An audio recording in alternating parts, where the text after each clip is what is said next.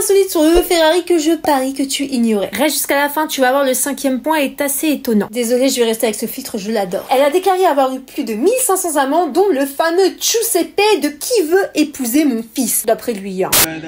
Elle a tourné dans quelques films pour adultes. La villa est connue pour être un spot d'urbex depuis quelques années, complètement laissé à l'abandon. Tu peux même y retrouver des effets personnels de la star. Sa pierre tombale est anonymée et la mairie de Grasse affirme que c'est pour éviter les visites intempestives de fétichistes et autres nécrophiles qui voudraient s'y recueillir. Ouais, dites plutôt que vous assumez pas qu'elle habite dans votre ville. Tous les enfants des années 2000 connaissent cette rumeur. On disait dans les cours de récréation que Lolo Ferrari était mort parce que ses implants avaient explosé en avion. Ce qui est faux. Et d'ailleurs, ça m'amène au dernier point. Le point crucial. Oui, oui, oui. Son mari a été accusé de sa mort. Alors, si vous voulez savoir s'il est vraiment responsable ou non, je vous invite à regarder une vidéo que j'ai fait sur ma chaîne. Je vous attends. Bisous, bisous. Et on s'abonne pour plus de minutes porn. Et ouais, sans filtre, c'est moins ouf. hein.